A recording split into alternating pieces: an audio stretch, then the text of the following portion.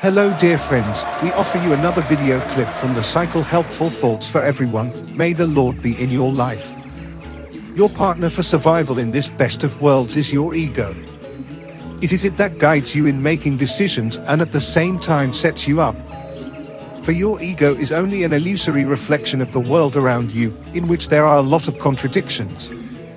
If you want to live in the real world, and not in an illusion, then you must reject this world, everything that harms your soul. It is not the fact itself that is important, but your attitude to this event in your life.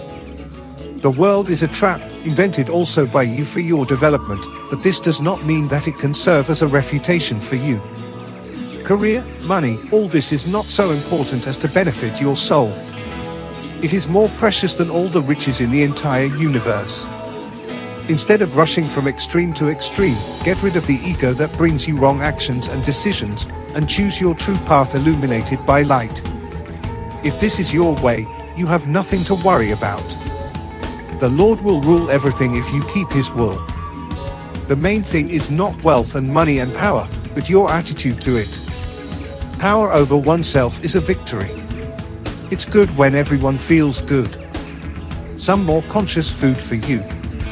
It is good that when there is something to eat, it is good when there is a place to live, it is good when there is a good dress, it is good when there is a vocation, it is good when everything is good, and faith, and hope, and love, and even the weather, it is also good if God is in the soul. Let's start something new in our life. Something extraordinary, good, beautiful. A new life, new hobby, new hobby. You can do something new every single day. By living a day, you are living a small life. Every morning is a priceless gift from God. Use it with mind and heart, mind and soul. After all, our life is a moment in His eternity. Be moths flying into the light. Be smart as snakes and brave as lions, simple as pigeons, loyal as dogs and free as cats, organized and hardworking as ants, invisible as chameleons, but true to your path.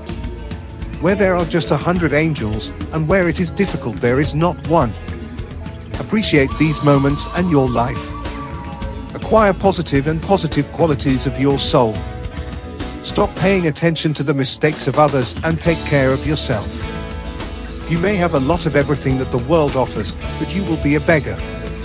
And vice versa, you may not have anything, but you will be richer inwardly.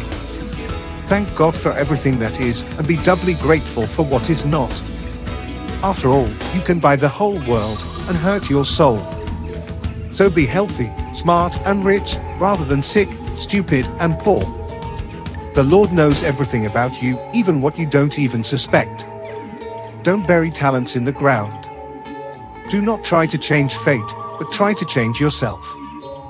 With God, my dears, here we are all friends, sisters, and brothers.